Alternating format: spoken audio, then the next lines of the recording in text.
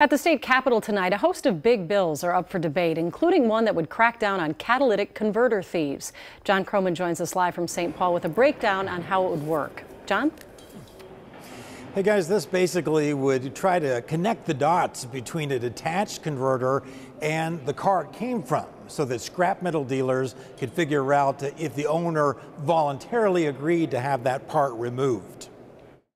Precious metals in catalytic converters platinum, palladium, rhodium, worth 12 times the price of gold, which has fueled the meteoric rise in thefts.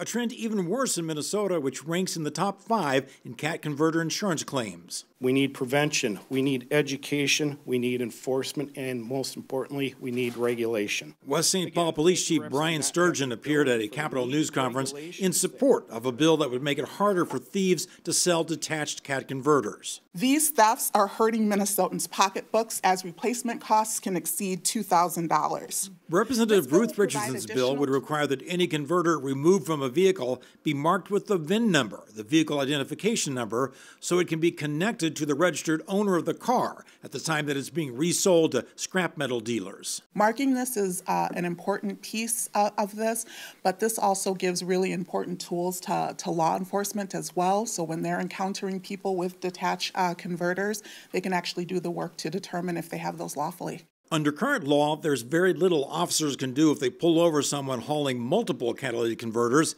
even though it's highly suspicious and a financial blow to the owners who lose them. Talk about a burden to those individuals that have their catalytic converter stolen, anywhere from a few hundred dollars for a replacement to thousands of dollars. It puts a very significant financial strain on many citizens. So this bill passed by an overwhelming majority late uh, this afternoon, 113 yeas against 15 nays. Now the action will move over to the Senate.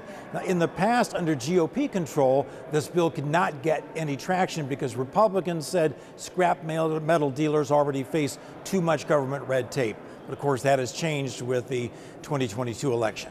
Back to you. All right. Thank you, John.